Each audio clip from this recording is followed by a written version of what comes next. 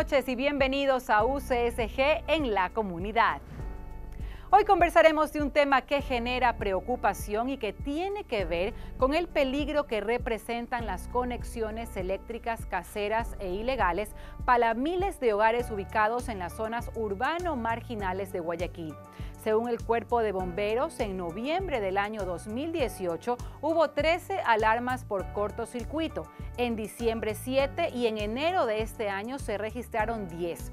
Estas alertas pueden resultar en incendios o causar shocks eléctricos al realizarse conexiones manuales entre los cables de las casas y los postes de luz pública.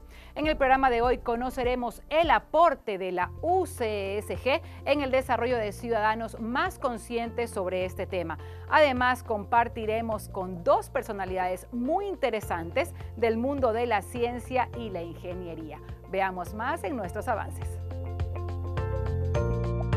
Hoy en UCSG en la comunidad te presentamos el proyecto de vinculación denominado Energía y Automatismo de la Facultad Técnica para el Desarrollo que promueve el uso adecuado de las instalaciones eléctricas en las cooperativas Horizontes del Guerrero y Colinas de la Florida en Guayaquil. Además, en nuestro estudio, Jocelyn Andramuño, una destacada estudiante y apasionada por la ingeniería electrónica, nos cuenta su participación a nivel internacional en países como Chile y Jamaica. Y en nuestro segmento Personalidades, Héctor Pacheco, graduado de la carrera de Telecomunicaciones y docente de nuestra universidad, nos cuenta su trayectoria y logros profesionales. Empezamos. El proyecto de vinculación denominado Energía y Automatismo de la Facultad de Educación Técnica para el Desarrollo promueve el uso adecuado de las instalaciones eléctricas en las cooperativas Horizontes del Guerrero y Colinas de la Florida en Guayaquil. Además, capacita a los habitantes en el uso adecuado de las tecnologías de comunicación para evitar poner en riesgo información como cuentas bancarias o datos personales, pues no existe una cultura de seguridad informática en la población.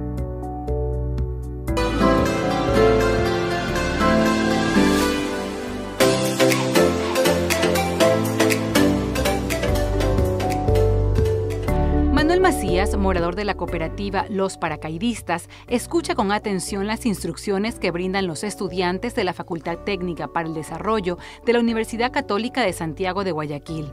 El proyecto de vinculación denominado Energía y Automatismo promueve el uso adecuado de las instalaciones eléctricas y de las tecnologías de la información y comunicación en las cooperativas Horizontes del Guerrero y Colinas de la Florida. Además está considerada la cooperativa Los Paracaidistas en Guayaquil. Esto con el objetivo de reducir los peligros potenciales de la población y de los bienes inmuebles de esas comunidades. Eh, los estudiantes tienen básicamente tres funciones. La primera es la de capacitar, la segunda es de realizar el diagnóstico en los sectores intervenidos y el tercero es el de colaborar en la mejora de algunas viviendas que están en condiciones, digamos, un poco peligrosas. Los estudiantes de esta forma capacitan en temas básicos como instalaciones eléctricas y de seguridad. Además, en instalaciones fotovoltaicas, es decir, aquellas cuya fuente de energía produce electricidad de origen renovable, obtenida directamente a partir de la radiación solar. Y también capacitan en el uso de Internet, Wi-Fi y cámaras de vigilancia. Este proyecto ha beneficiado hasta el momento a un número aproximado de 1.600 personas directamente. Cuando yo vine aquí tenía una idea básica de lo que era la electricidad, pero aquí he aprendido primero a respetarla, porque la energía eh, tenemos que saber cómo manejarla. Aparte de eso he aprendido muchas cosas para yo poder hacer reparaciones en mi casa, como instalar la parte de los interruptores, los tomacorrientes, considerar las cargas que debe tener una casa para poder tener un óptimo funcionamiento en todos nuestros hogares. Muy buena respuesta, tenemos muy, bastantes alumnos, tanto el nivel anterior como este nivel, pues entonces se da, se da cuenta que hay acogida y hay importancia al, asunto. La eléctrica de Guayaquil estima que en esta ciudad alrededor de 80 mil viviendas obtienen energía mediante conexiones caseras en las zonas suburbanas, lo cual representa un alto riesgo para las familias. El trabajo que se está realizando es un trabajo en cumplimiento de la función de vinculación que tiene la Universidad Católica y así tratando también de, aparte de beneficiar a los miembros de esta cooperativa, queremos también beneficiar a nuestros estudiantes, formando en ellos este sentido de vinculación con la comunidad que los hará unos profesionales socialmente responsables.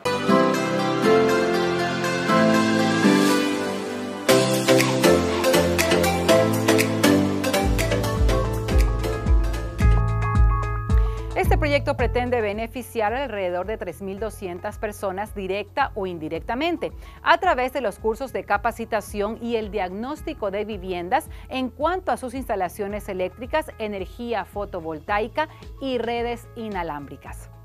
Y ahora como siempre quiero recordarles que estén al tanto de nuestro contenido en las redes sociales que aparecen en sus pantallas. Pueden observar nuestro material a cualquier hora y en cualquier lugar. Si tienen alguna duda o comentario sobre los programas de movilidad o también sobre las áreas de incidencia de la UCSG, escríbanos y coméntenos. Ahora sí nos vamos a un corte y volvemos con más en UCSG al mundo.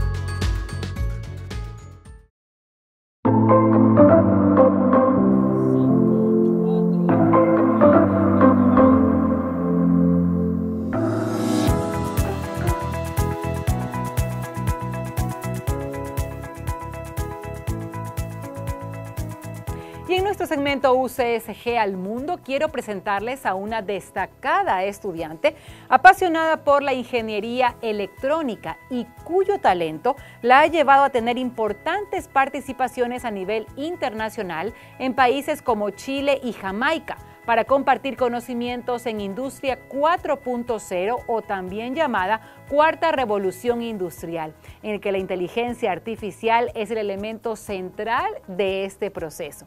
Ya se encuentra con nosotros entonces Joselain Andra Muño. Joselain, muchísimas gracias por acompañarnos el día de hoy. Yo quiero felicitarte primero porque no hay muchas mujeres en la ciencia y eso es realmente de destacarte y quiero empezar consultándote eso. ¿Cómo así te llamó la atención estudiar ingeniería? Bueno, todo empezó eh, este, cuando yo tenía siete años. Eh, mi mamá me metió en un curso de, de, robótica para niños y todas esas cosas. Entonces a los siete años lo primero que hice fue construir mi primer robot.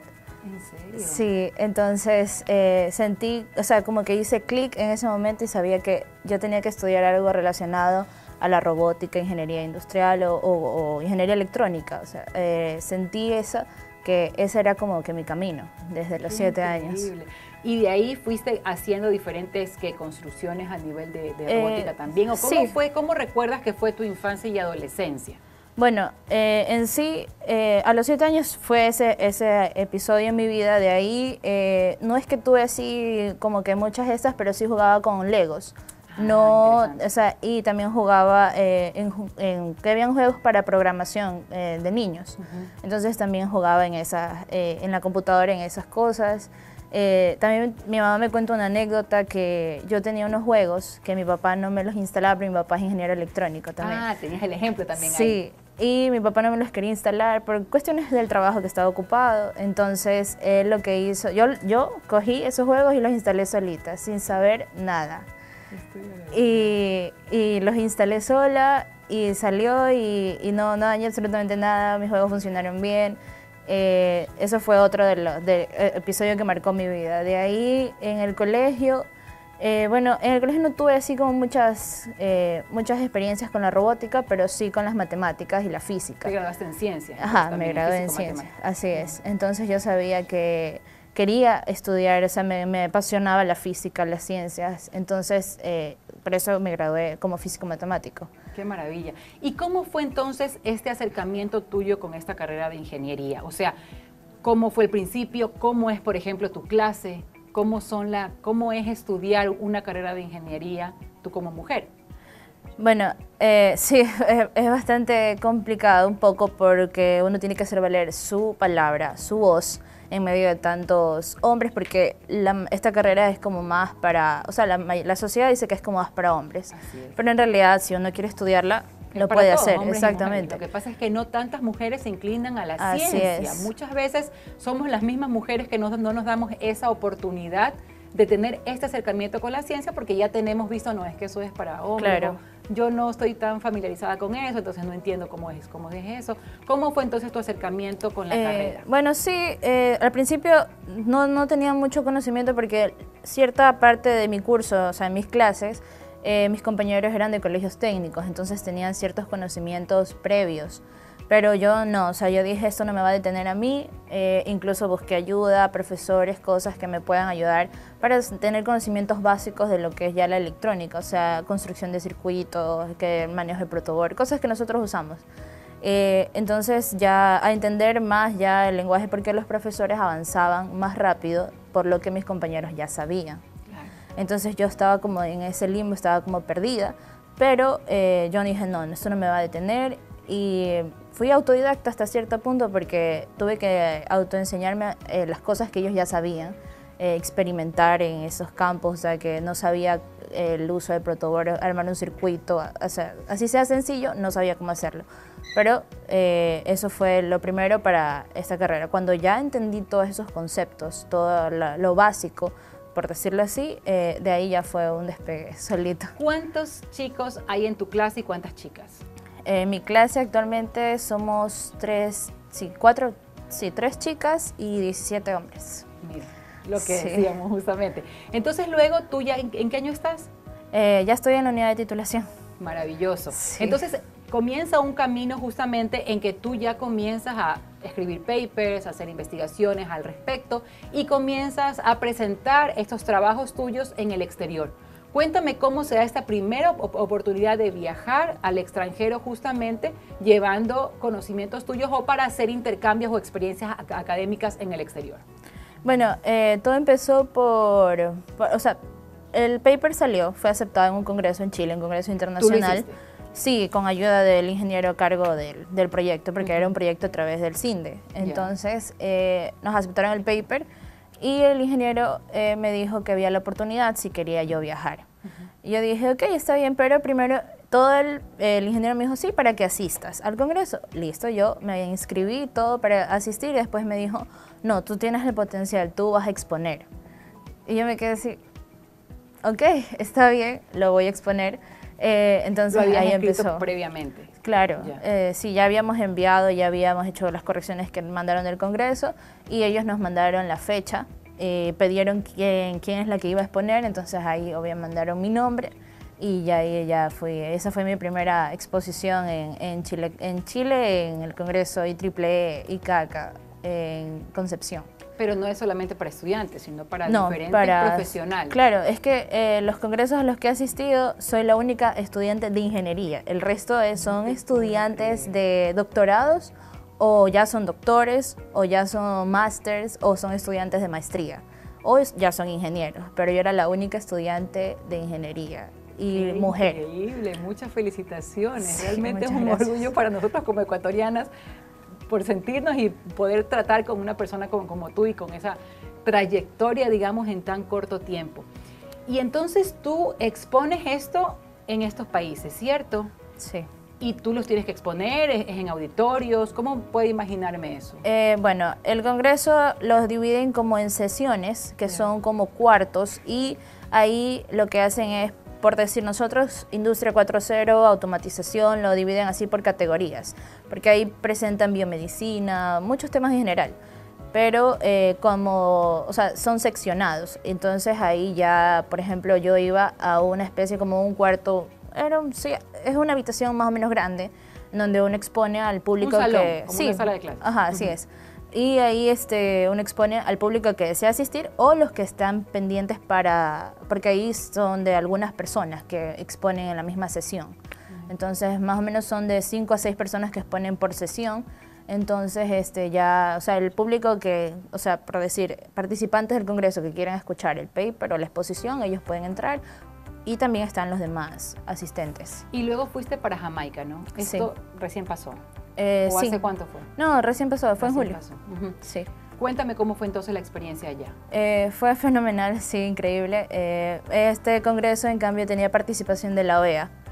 Entonces, eh, había muchos más, era como que muy, mucho más grande. Yo, yo estaba, este, el congreso, en mi primer congreso fue como más eh, menos público, menos asistentes, sí, pero igual me moría porque estaba súper nerviosa al principio, pero después eh, en LACSEI, el último congreso que fue en Jamaica, ya fue muchos más asistentes, o sea, ya fue una multitud mucho más grande de la que expuse. Y ya fue diferente, sí. Eh, ahí uno se topa con científicos de Estados Unidos. Incluso ahí me topé con un científico que él trabaja, él ya es doctor, trabajo en la NASA, y eh, él ahora trabaja en una universidad en Estados Unidos y él ha sido guayaquileño. Entonces, al yo presentarme, presento Universidad Católica Santiago de Guayaquil, Ecuador. Él dijo, o sea, ya al final ya hablamos y me felicitó y ahí me dijo que, o sea, lo contacte para futuras investigaciones o trabajos. Jocelyn, para concluir, ¿cómo te ves tú de aquí en cinco años? ¿Cómo, o cómo te proyectas tú en el futuro? Bueno, eh, yo quiero seguir en el campo de la investigación, la parte científica, avances, descubrir eh, y, también estudiar maestría y tener mis doctorados. Todo el posgrado. Sí. Yo soy la increíble que en esa entrevista se me ha quedado cortísimo el tiempo realmente porque tengo 50 preguntas para hacerte y lamentablemente el tiempo se nos va, pero tenemos que realmente pactar para nuevamente encontrarnos y seguir conversando juntas. ¿Te parece? Muchísimas gracias por tu participación en el programa. Y nos vamos ahora sí a un corte, pero al volver conoceremos a uno de los graduados de la primera generación de la carrera de telecomunicaciones de la UCSG. Hoy con 25 años de trayectoria nos cuenta sobre su dedicación hacia las tecnologías de la comunicación y ya volvemos entonces para contarles.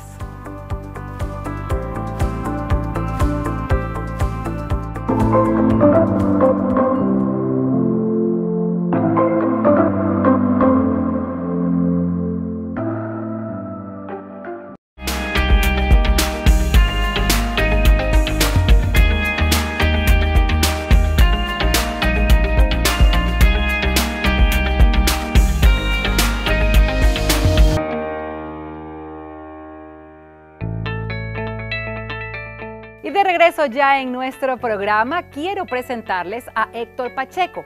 Él es uno de los primeros graduados de la carrera de telecomunicaciones de la UCSG en el año 2003 y que hoy además es docente de esta institución. Él es especialista en redes de acceso, ha trabajado para la empresa Huawei y en la actualidad se desempeña como fiscalizador nacional de la empresa pública CNT. Conozcamos su interesante historia.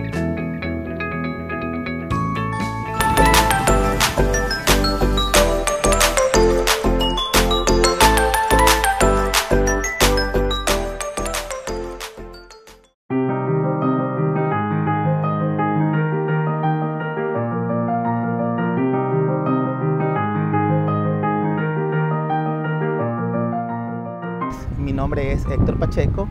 Eh, me gradué en la Facultad Técnica para el Desarrollo en el año 2003. Cuando yo era estudiante, bueno, me gradué en el Colegio Dante Alighieri y me gradué de físico-matemático. Y en ese tiempo se innovaban mucho las tecnologías en las áreas eléctricas y en el área de las telecomunicaciones. Entonces yo tenía muchos compañeros y, que eran sus papás, estudiaban en CNT. En ese entonces no era CNT, en ese entonces era MTEL. Entonces trabajaban en la empresa. Y me llamaba mucho la atención porque veía los carros de mis amigos, de, familiares inclusive, que tenían un tipo de trabajo en la empresa de las telecomunicaciones. Y yo les dije a un grupo de amigos míos del colegio, les digo, ¿por qué no nos metemos a estudiar telecomunicaciones? Entonces efectivamente las carreras estaban abiertas y vinimos a averiguar aquí a la facultad. Siempre nos gustó el área de, de primero era de la física matemática, entonces en esa área nos gustaba obviamente todo tema de ingeniería, investigar cómo era la física, que la piolita mantenía el trompo, que no sé cuánto. Entonces entraba una cosa con otra con respecto a la electrónica. En el año 2003 interrumpí la carrera de tecnología y me puse a trabajar en el área de telecomunicaciones porque me salió trabajo en, la empresa que yo justamente quería trabajar. En ese entonces, 1997, y entré a trabajar a en ese tiempo Emetel. Un jefe me decía, Héctor, pero ¿por qué estás preocupado si siempre no hemos tenido economía? Para uno tener hay que endeudarse, hay que arriesgarse. Así que yo por mi parte te doy permiso para que vayas a estudiar a partir de las 4 de la tarde. No importa, yo te ayudo. Esa fue una ayuda bastante valiosa que me dio un jefe, que se llamaba David Rivera en ese entonces. Eh, fue una, una, buena persona y me ayudó, me empujó y, muchas, y mis familiares me ayudaron mucho para obviamente seguir adelante. Y no interrumpí mi carrera por nada, por nada. Ahí no interrumpí mi carrera por nada hasta que me gradué en el año 2003. ¿Por qué quiero decir que inclusive mi vida empezó aquí en la universidad? Porque la verdad que la universidad me abrió todas las puertas. Aquí conocí al profesor Ernesto Molinero, era, era, vicepresidente de operaciones de la empresa donde yo trabajaba, en ese entonces que fue Emetel, Emetelsa, y cuando ya llegó Pacifitel, él se retiró, se jubiló, pero también se retiró de la facultad como profesor. El profesor, como yo ya estaba en sexto semestre, el profesor me decía que yo sea su ayudante de cátedra prácticamente. Cuando me gradué, el profesor que se estaba retirando dejó un escrito, una carta, y dijo que me recomendaba para que yo pueda ser profesor de la materia que él dictaba. Entonces, yo nunca lo conversé con él. Él lo dejó por cariño, por aprecio, porque era una persona bien correcta, bien, bien, bien difícil, pero bien correcta. Incluso, eh, el, señor, el ingeniero se llama el ingeniero Ernesto Molineros. Entonces, él me dejó la cátedra y desde ese día yo fui, obviamente se, hubo una comisión dentro de la universidad y decidieron que yo podía ser profesor ocasional en ese entonces, en el año 2003, de la, de, la misma tesis, o sea, nosotros de graduados, nuestra tesis fue un premio contenta que hicimos un laboratorio de telecomunicaciones, aquí para esta facultad.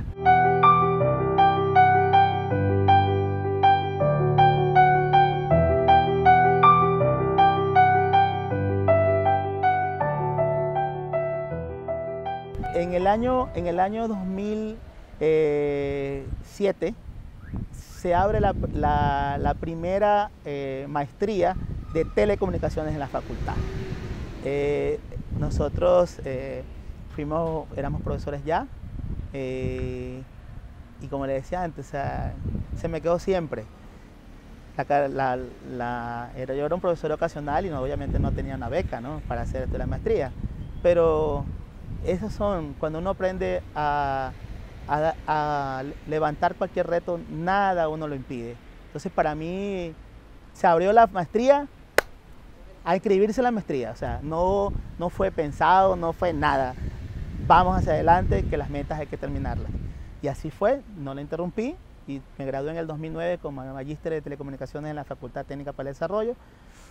Eh, desde ahí, obviamente, eso también fue parte de que mi hoja de vida en todas las empresas donde estuve trabajando fue acogida de buena forma. Entrar a la empresa de las telecomunicaciones para mí fue bastante grande porque era la ilusión que tenía con mi carrera y con lo que, con lo que me gustaba. Entonces empecé de muy abajo. La verdad empecé como un técnico de redes de planta externa. Esto significa que era un técnico que arreglaba las líneas telefónicas desde la central hacia el abonado. Y me daba placer cada vez que obviamente reparaba una, una línea de abonado y obviamente la gente cambia, pero en ese entonces era muy agradecida, te decía, uy, gracias por arreglarme mi teléfono, y cada vez que uno arreglaba una línea era un, agradecimiento bárbaro. Entonces eso, eso dio la ímpetu a crecer más. Yo puedo decir a, los jóvenes que nada es imposible lograr, que todas las metas que uno se propongan, si uno es eh, constante realmente, siempre va a lograr los objetivos y no se debe impedir de nada negativo que alguien le diga, no, no vas a poder, por falta de dinero, por falta de tiempo. No, nosotros cuando, éramos, cuando éramos jóvenes tenemos tiempo para todo y dormir menos, pero lo principal son las metas alcanzadas. Cuando la gente que está a nuestro lado, la familia, los amigos, las personas que nos enseñaron, se van a, hacer, van a estar contentas por lo que hoy somos.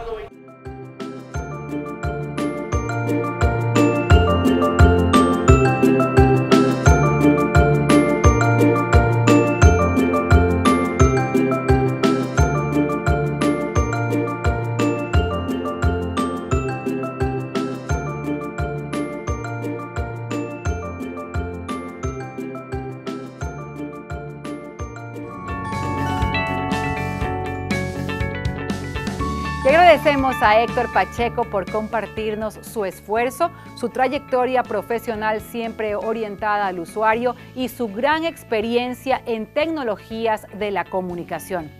Y yo me despido, no sin antes recordarles que busquen nuestro contenido en las redes sociales. Hay testimonios muy interesantes y acciones de la UCSG y organizaciones diversas que trabajan de la mano para desarrollar distintos proyectos en favor de la comunidad. Y como siempre, yo los dejo ahora con la vicerrectora, doctora Mónica Franco Pombo, para cerrar nuestro programa. Conmigo será hasta la próxima semana. Chao, chao. En el programa de hoy pudimos conocer la importancia de tomar conciencia sobre los peligros potenciales que pueden presentar, por un lado, las instalaciones eléctricas caseras y por otro, la fragilidad en la seguridad de nuestra información personal digital docentes y estudiantes de las carreras de Ingeniería Electrónica, Ingeniería en Telecomunicaciones e Ingeniería en Electromecánica trabajan en generar conciencia en la ciudadanía para crear hábitos de seguridad en los hogares de las cooperativas Los Paracaidistas, Horizontes del Guerrero y Colinas de la Florida en Guayaquil. De esta forma, la Universidad Católica de Santiago de Guayaquil contribuye brindando soporte técnico gratuito en estas áreas para contrarrestar la falta de habilidad para la seguridad ciudadana en la población. Un gusto como siempre haberlos acompañado. Hasta la próxima semana.